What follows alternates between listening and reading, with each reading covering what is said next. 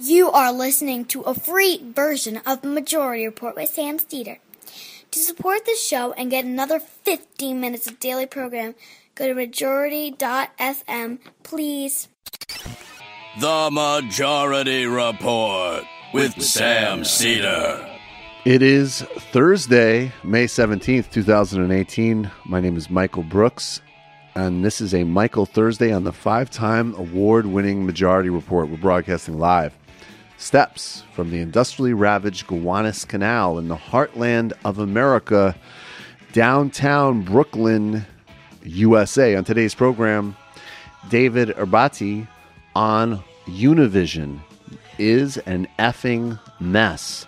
The story of a leveraged buyout, a media conglomerate, financial deregulation, the destruction of journalism, and poor strategic planning for millennial and Hispanic audiences and how it affects all of us. The Mueller investigation enters its second year, and all of us want to know where exactly is it heading. Rudy claims that Mueller told him that he cannot indict a sitting president. We'll see about that. Jared Kushner supposedly got very agitated and upset when the Russian meeting didn't deliver the goods. No dirt on Hillary Clinton. And a Qatari a businessman has claimed that Michael Cohen asked him for a million dollars. I wonder if this gives us some new insight on the blockade of Qatar. European, ex European heads of state from a variety of center left parties sign a letter urging the release of President Lula in Brazil and allowing him to seek re election. President Obama, who once called Lula the most popular politician on the planet, should follow their lead. And Rand Paul, he still wants to know more things about Gina Haspel. As the countdown clock uh, ticks for his almost certain sellout on the issue.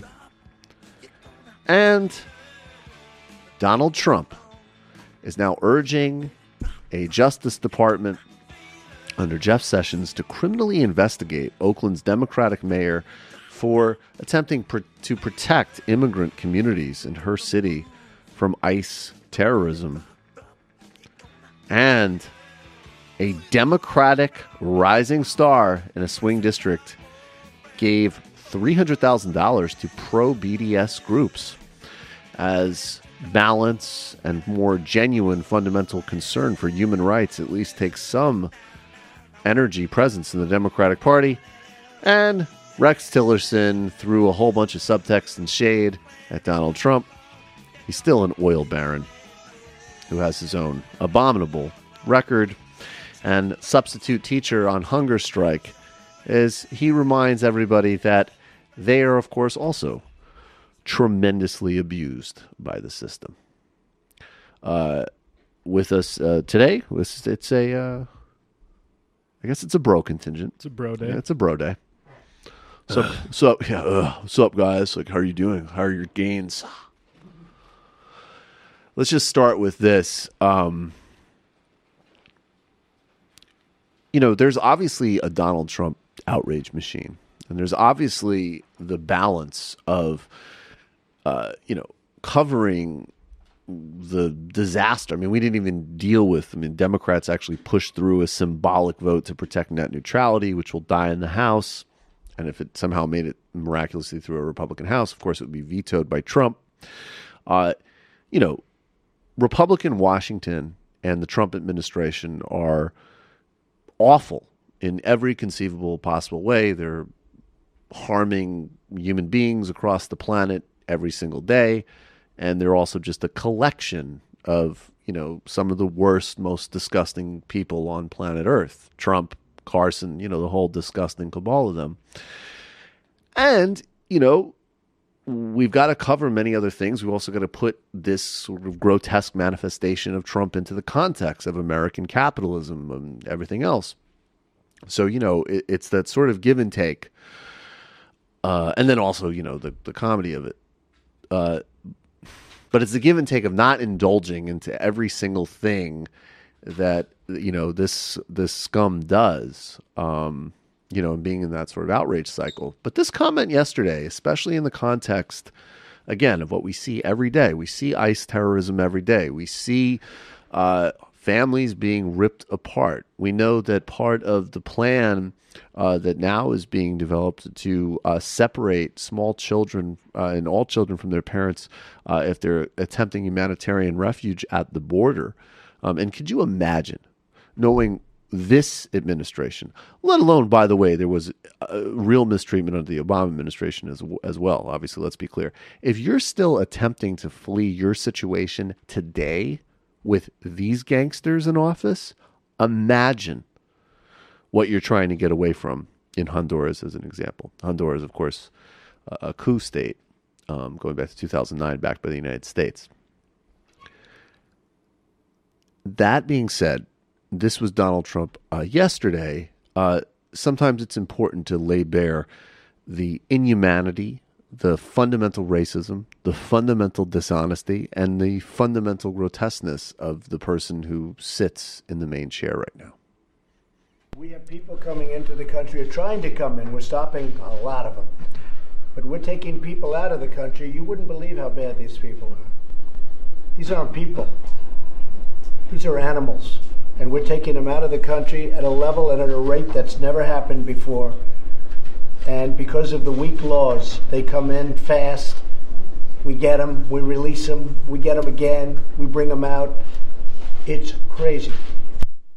So that's the language of fascism. That's the language of eliminationism. You look at Rwanda radio talking about cockroaches before genocide, as an example. You look at the rhetoric of the genocides in Bosnia. And obviously, it's not the same situation, but the rhetoric is on the absolute same continuum. And I don't see criminals every day. Every single day, I see families being ripped apart. I see homes being uh, barged into without search warrants. I see comedians being harassed for joking about ICE. I see a guy in upstate New York, a farmer, uh, you know, getting threatened by ICE while they terrorize one of his employees. I see some scumbag jerk off in Midtown threatening to call ICE on people speaking Spanish at a salad bar. That's what I see. And I see a racist, trust fund baby scumbag president who has less than no integrity. There's no concept of integrity in any of these people. Administrating one of the biggest grifts in American history, a grift based country. That's what I see. And so it is an important reminder sometimes to be clear about what we're dealing with and every single person in Washington who empowers them. Paul Ryan, and all the rest of them who still want to make some feint at respectability, even as they empower Trump and administer uh, a full frontal assault on 99.9% of Americans. Okay, we're going to take a brief break and we'll be right back with David Uberti. We're talking about why Univision is an effing mess and much, much more. It's a great piece of reporting.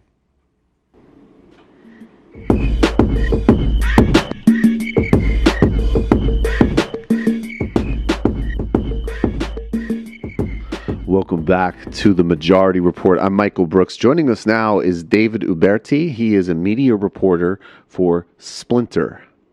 David, thanks so much for being here. Thanks for having me on. How's it going? It's going well. You uh, co wrote a very, very in depth uh, piece along with uh, Kate uh, Conger and uh, Laura Wagner uh, on basically it's entitled, and I, I guess I will edit it for the public version of this show. Univision is an effing mess. Uh, and Univision is, of course, uh, in some sense, is a is in fact your your parent company. Uh, right. In fact, which uh, I so I like the piece already. Um, take us back though. Explain to people what Univision is and uh, the you know its its its history as a media conglomerate and how it got where it is today as a business. So Univision is a large Spanish language broadcaster which targets the Spanish language market in the United States.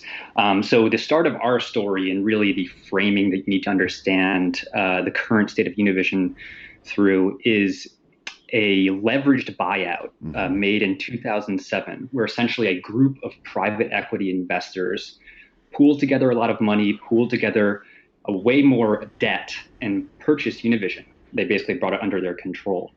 So the way leveraged buyouts work is essentially private equity investors they go to banks and they say hey we want to make this purchase. Will you give us loans? The banks say yes or no. In this case they said yes so these private equity investors essentially saddled univision in 2007 with more than 10 billion with a b dollars in debt. So everything that's happened since then whether that's you know the push for cost cutting the push for additional revenue, various uh, plays for digital expansion, and the resulting mismanagement really stems from this gigantic uh, loan that we are still paying off to the tune of hundreds of millions of dollars each year. You explain, and one of the things I really, really liked about the piece was the sort of the intentionally convoluted language around what a leverage buyout is. I've told this story before. Uh, uh, but I, will say it again. I remember one time, and it was it was funny. Like I was literally running on a treadmill at the gym, and there was a guy who, you know, I've I had, you know, uh, a gym acquaintance, you know, a guy you'd say, "Hey, what's up? How's it going?" Blah blah, and he was a Wall Street guy, and you know he loved. I mean, I, you know, it was funny. Like I, you would think I might be the more, you know, I'm like the the left wing media guy, uh, but I just wanted to take my run and and, and listen to Nas, and he uh, and he, you know, wanted to debate me basically about uh, about. I don't remember even the specifics, but I remember at one point you know, he's throwing all this language at me and he's saying like, well, it gets really technical. And, you know, I mean, I'm not, you know, I, I'm, I'm not saying that, you know, I mean, obviously, you know, you're a really smart guy, but I mean, you know, I worked at the bank and blah, blah, blah. and I said, and I finally was like, dude, you know, look, I get it, but like I watched Goodfellas and uh, you know, like you're basically describing, uh, you know, and uh, and I think, and I'm sure, you know, Matt Taibbi's used a million examples like that, ways in which like what you just described is not that complicated, but right. they sure make it sound complicated. Right. Yeah. I mean, we, we make the point in the piece that the jargon that the financial sector uses is more of a feature than it is a bug. So, you know, they have all these weird accounting metrics that use a lot of acronyms um, that basically prevent lay people like you or me understanding what the hell uh, is being discussed. So, the most important one when we're talking about big companies that have undergone leveraged buyouts like Univision is this ratio called debt to EBITDA ratio. And EBITDA is this acronym that stands for earnings before interest, taxes, depreciation, and amortization, which is a fancy way of saying the amount of money a company makes every year. So right. You can just say earnings.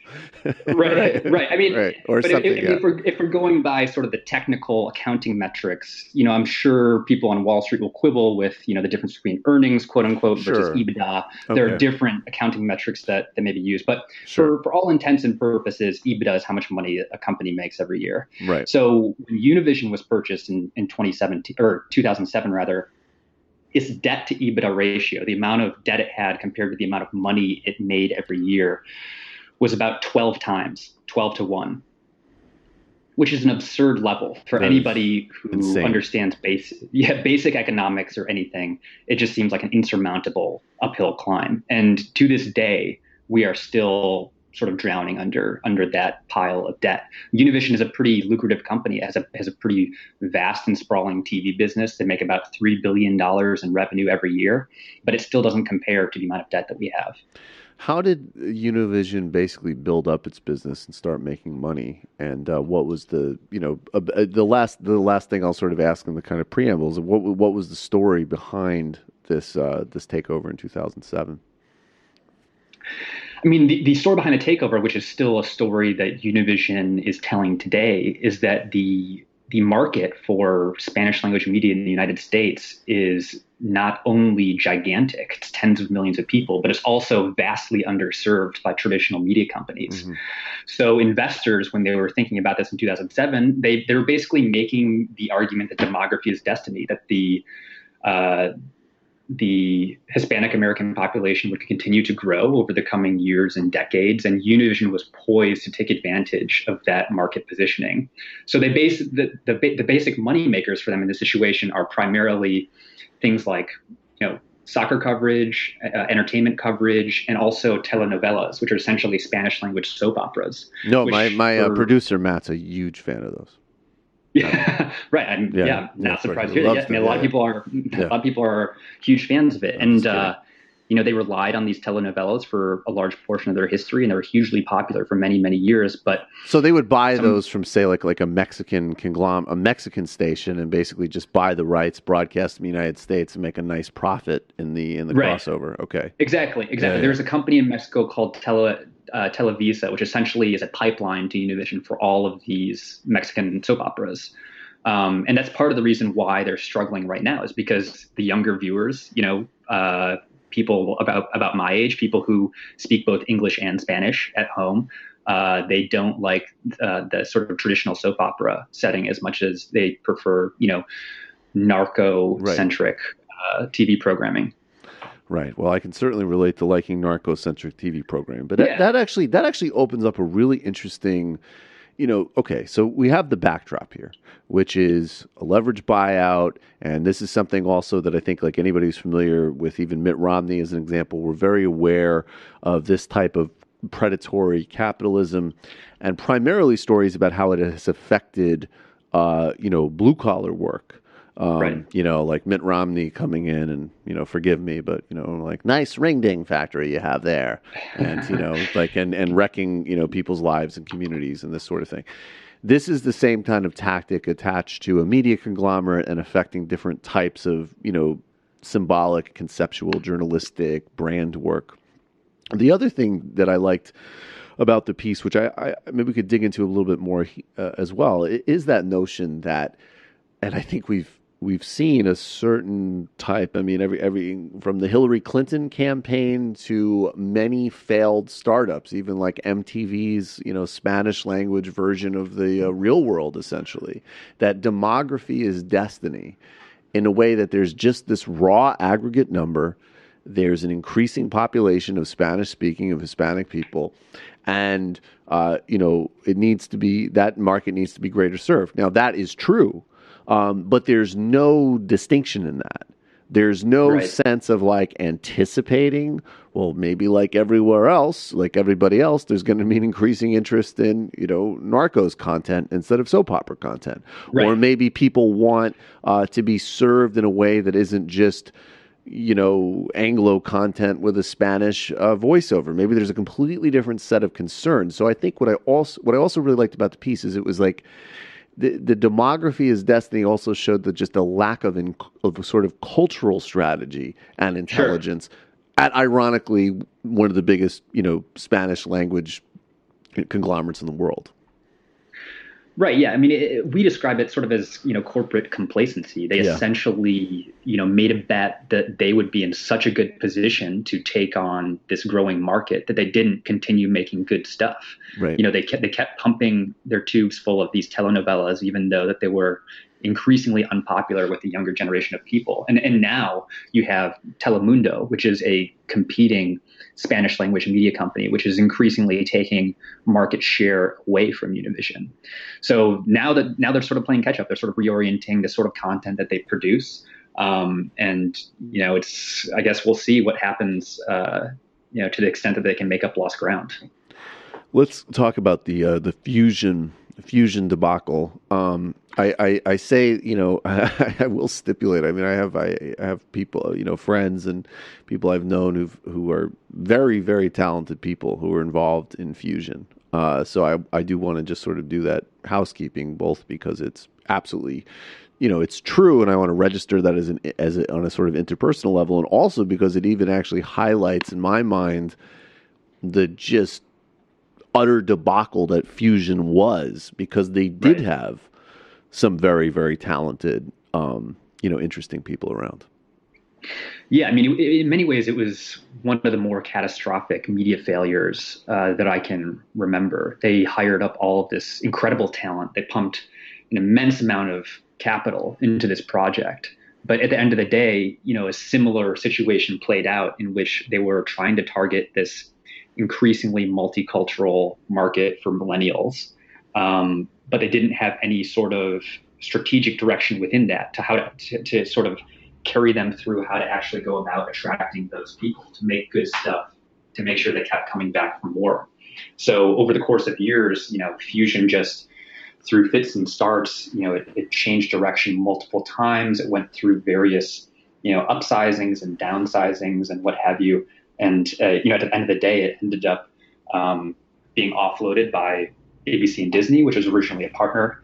Uh, in, Infusion, and then you know became sort of a relatively unknown cable channel that very few people watch, which is the current state of play. Mm-hmm. Um, so it sort of it, it does sort of fit in with this broader narrative within the company of Univision of you know having sort of the base level target in mind. There's this market out there that we have to tap into, but not actually going through the strategic steps uh, to actually make good things that people want to use. Right. Just just pure quantitative. Um, you know, well, X is here, so Y is there, so we'll mush it together without any actual, with the you know the sort of deeper sense of of content and actual cultural strategy. You also in the fusion story, there's a good part. Uh, you explain, um, you know, the sort of role, the kind of corporate fiefdoms that developed in Univision as well. Right, right, yeah. So, um, you know, Univision uh, and Fusion in particular was the brainchild of a guy named Isaac Lee, who's still an executive at the company. And what our reporting found is that over the course of years, and particularly within Fusion, um, and I, you know, as we all know, this isn't unique to Fusion or Univision. This happens out in the corporate setting all the time. But executives rewarded their friends and pals with yep. their own personal fiefdoms. They they said, "Oh, I have this new project. I know just the guy to lead this new project," um, and that was obviously detrimental to the overall mission. Uh, when you when you sort of base decision making off of you know purely your own personal relationships as opposed to people's skill sets and expertise then you're sort of bound for failure. So I think, you know, in many ways, fusion and, you know, Univision more broadly, as we say in the piece, is a, a sort of set of de- media deals cobbled together to create this huge conglomerate. But at the, at the end of the day, if you were just taking individual parts of that conglomerate, conglomerate and rewarding people that you personally like with control over those individual pieces, you're going to have a hard time bringing it into one holistic thing uh, that's valuable. What about the news side of Univision? I mean, this also brings to mind the other very basic conflict between a profit motive and news generation. And, and also, you know, in fact, I mean, multiple forms of deregulation, which we'll get to. You know, obviously, deregulation of the financial sector, which led to these types of, you know, leverage buyouts and so on. Right. But also, uh, you know, uh, uh, deregulation and allowing of this hyper concentration of media monopolies and how that distorts the whole media market. Univision also had a very respected news division, um, right. which, in the sort of typical fashion of these companies, was sort of held up as a defense. You know, when you criticize these things, they go, "Oh, wait a second, we've got these great reporters and we broke right. these great Jorge stories." Ramos, and yeah. like, "Okay, well, you're firing all of them." Right. Yeah. Right. I mean, that's that's one of the the unspoken and really sad parts about all this. I mean, Univision Noticias is one of, if not the largest Spanish language news provider in the United States. There are tens of millions of people that rely on it for either their nightly news or their digital news and what have you. The digital side of Noticias has already undergone pretty extensive layoffs over the last couple of months or so.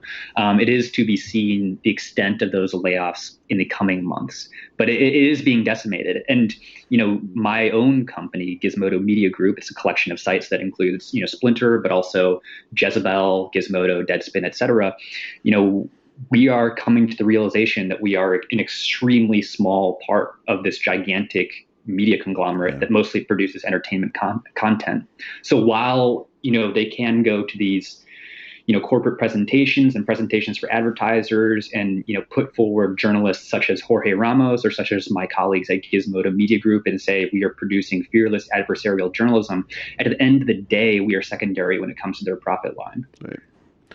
Um, what's the i mean and and then have there been an attempt i mean what have there been you know merger talks? Have they tried to get bought out themselves? I mean what yeah, just underlining again as we sort of move towards the close that same core contradiction that it, in spite of all of these um, problems and contradictions and poor strategy and mistakes this is still a media conglomerate partially which relies on you know, television, which is dying. It's totally dying.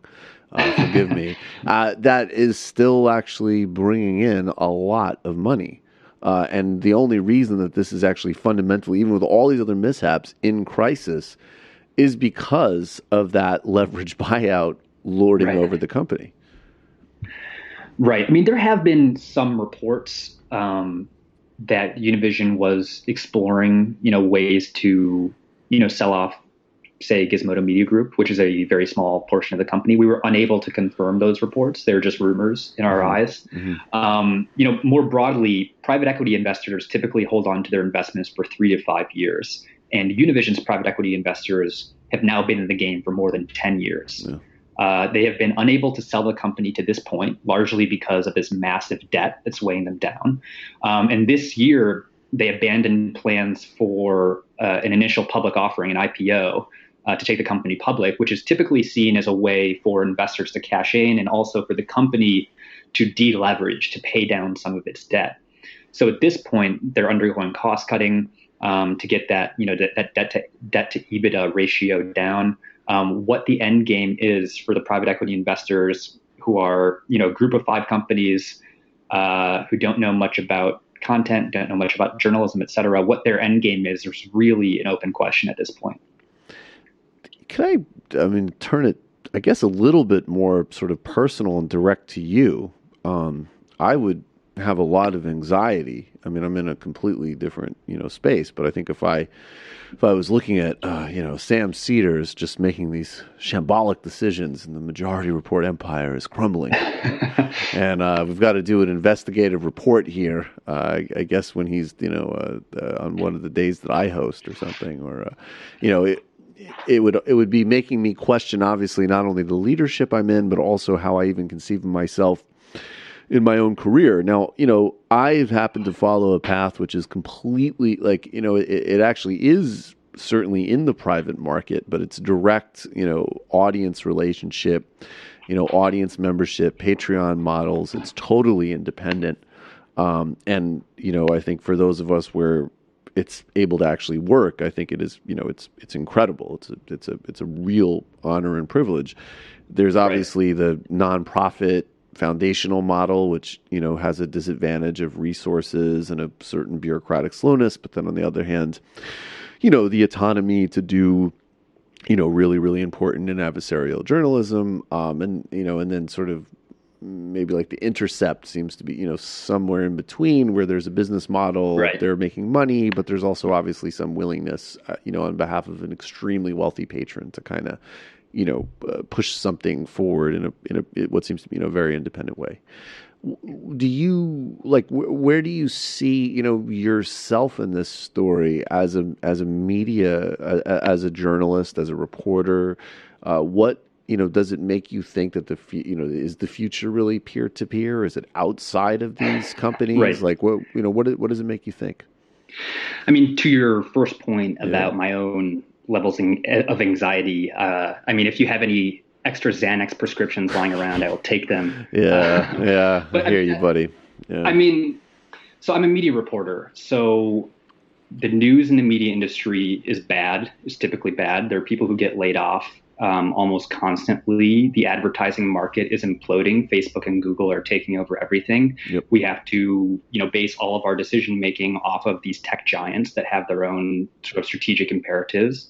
Um, but you know, in reporting that story out over the last you know four or so years that I've been doing this, I've never thought that it would be me. You just don't think that personally. Right.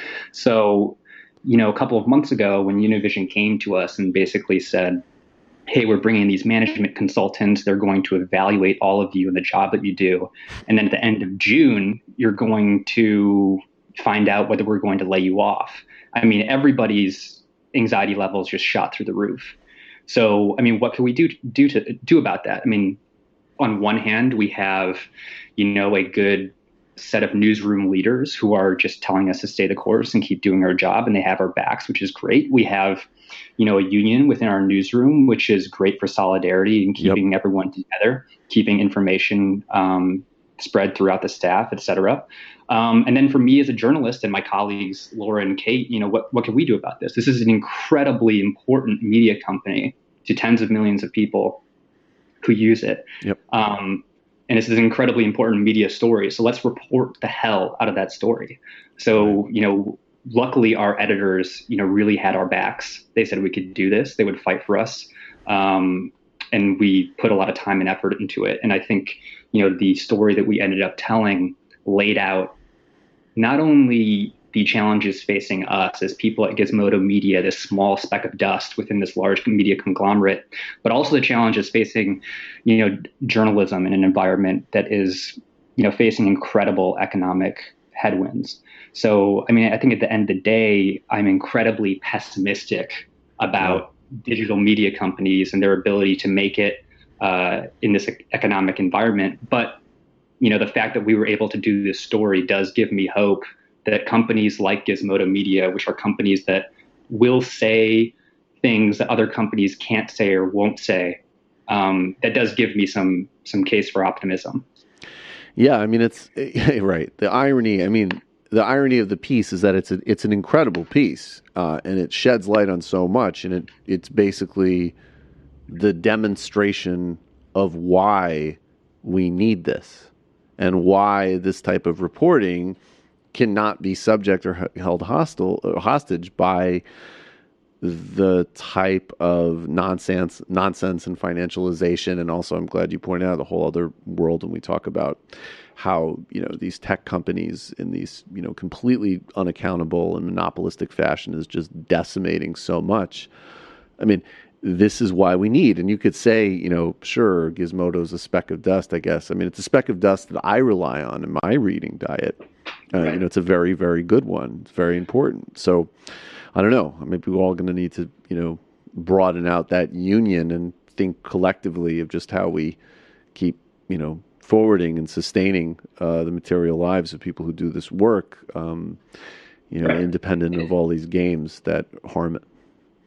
Right. Yeah, definitely. I mean, I, I think, you know, obviously wanted to, to tell a story of Univision and, you know, how Gawker Media and now Gizmodo Media are basically along for the ride of whatever happens to this massive company. But I do hope that the takeaway from our story is that this is what is under threat. This, you know, deeply reported 8,000 word story. You know, we are literally criticizing the people who write our checks. Um, and, you know, they could fire us later next month. It's a possibility. Who knows what will happen? But at the end of the day, you know, this sort of reporting, this clear-eyed, uh, you know, important story storytelling is is the thing that we provide. Um, so if you want to make cuts to the company, if you want to lay people off, you're going to get less of this, and that's that's just the bottom line. David uh, he's a media reporter at Splinter. It's an excellent piece. Univision is an effing mess, except that's fully spelled out. Um, and I know I'm an enormous hypocrite for abbreviating it, given the amount of times that I curse on the show, but I'm trying to do better. Uh, David, I really, really appreciate your time, and um, we'll all be following this and uh, you know trying to have as much solidarity as possible. I appreciate that. Thanks for having me on. Thank you so much. Okay, everybody. Uh, yeah, I would really recommend that's that's the type of piece that you can read as a case study uh, that will open up the door to understanding a lot of predicaments we're in uh, financial, media, inequality, uh, journalism, all of it. Uh, great piece. Okay, we're going to go to the fun half, become a member of the Majority Report today, majority.fm slash become a member, or you can click, I believe it's the support tab on the majority.fm uh, homepage, justcoffee.coop fair trade tea, coffee, or chocolate. Get the Majority Report blend. It's a win win win for everyone. You can also subscribe to the show on iTunes, leave the show a review, and subscribe to the Majority Report YouTube channel. You can check out uh, my show, The Michael Brooks Show, TMBS, at patreon.com slash TMBS. Uh, Waz Lambre and I, Wosny Lambre, are co hosting a new show, Woke Bros, which is available uh, exclusively for TMBS uh, patrons um, and Count the Dings patrons. So it's a whole other offering on the uh, Patreon side for for my show, and you can of course uh, check out if you haven't checked it out yet. You can check out the public shows on Majority Report YouTube channel and also Michael Brooks Show on iTunes. Check out Antifada. That's Jamie Peck's show. You can find the Antifada both on their Patreon page as well as also uh, uh is on iTunes, right? You can check out the Antifada on iTunes and uh, all of Jamie's work on her Patreon page as well. Jamie Peck, Patreon. Okay, uh, 646 257 3920. 646 257 3920. IMs are open. See you in the fun half.